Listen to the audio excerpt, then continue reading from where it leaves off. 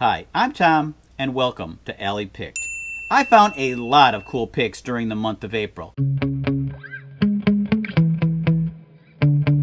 I'm always planning ahead for my next projects. I'm not just doing one project and one video, but I've got several going on at the same time, all in various degrees of completion. Now, the only way that I can do this is to constantly be on the lookout for cool and interesting items. Sometimes I find them in the alley. Other times, people I know find things in the alley and they call me up. Other times, I might just pick it up at an estate sale or a yard sale. Now, I rarely know exactly what I'm looking for, but when I do find it, it speaks to me. Hey Tom, Tom, buy me. buy me. Well, not in some weird kind of like I need psychological help way, but although, never mind. You know what I'm talking about. So let's head out to the garage and I'm going to show you some things that spoke to me last month.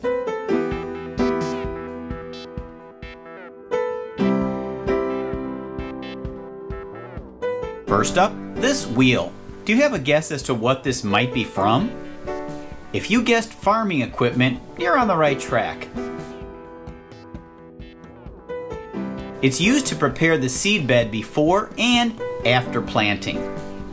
You'd see a row of these wheels on the back of a tractor to break up the dirt clods and firm up the seed bed. What am I going to use it for?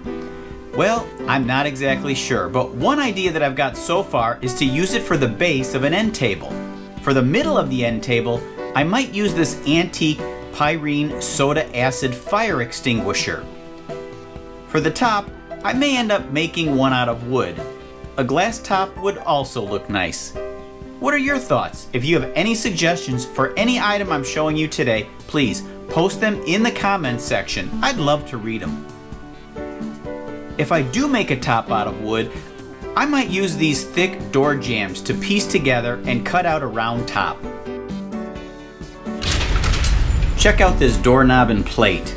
Man, they just don't make things like they used to. The manufacturer's name is stamped on the back. This is a time when people were proud of what they manufactured. Russell and Erwin. It's a company that began in the mid 1800s and lasted over 100 years. Let me show you what it looked like when it was new. Is that beautiful or what? Some people like the old patina look. I, however, love the original copper finish. This is a wood planter box. You put plants into the plastic liner and then this holds the liner. It has a nice wood carving on the front and the wood itself kind of looks like walnut. It's going to be fun to strip down and find out. I spotted this mirror driving past an alley near my house. I did a double take and drove around to pick it up. It's a little gaudy, but the wood and the carvings are nice. I'm not sure how I intend to restore this one yet.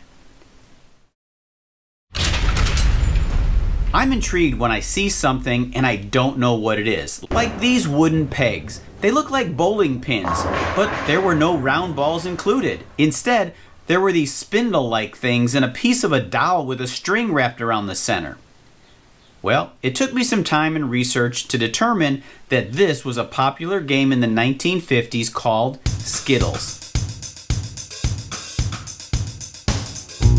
These spindles are actually tops that spin and randomly move around the box until they start knocking into the pins.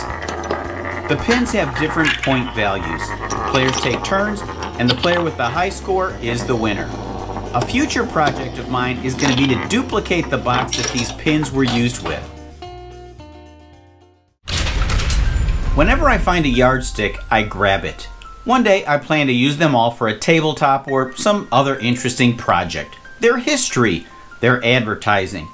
A lot of these companies are no longer in business. All that's left of them are these yardsticks. I find them interesting.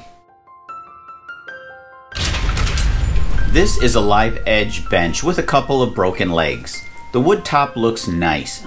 It has a couple of soft spots on the ends, but I can cut those off. I'll use my hand planer to remove the top layer of paint to see what the wood looks like. I should end up with a very nice piece of wood which will have many possibilities. Here's a simple wooden storage box with some rusty latches and handles. I have a couple of ideas for upgrading this. After repainting it, I want to add these metal legs that a friend gave me.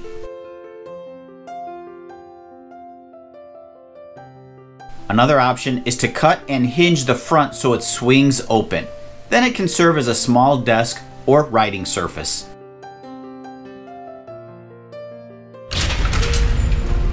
Driving through the alley last week, I saw these cabinets being thrown away. This door kinda caught my eye. I'll keep it until it speaks to me, letting me know what it wants to be. Last up, get ready to see the biggest piece of wood I've ever worked with. It's an old coffee table with the top measuring 7 feet long, 2 feet wide, and 4 inches thick. To restore this, here's what I'm thinking. First, I'll power wash it. Then I was thinking about filling the holes and open grain with the blue epoxy resin. Then I'll sand it down and use a clear epoxy on the top to finish it off. Not exactly sure what the plan is yet, but that's the direction I'm headed. I think you'll agree, that's some pretty cool junk I picked up last month. Now, if you have any suggestions about what else that I can use those items for, I'd love to hear about it. Post them in the comments section of this video. And thanks for watching Alley Picked. I appreciate it. Give this video a thumbs up, subscribe. Oh, and if you're interested, I started a second YouTube channel. It's called Dad Magic.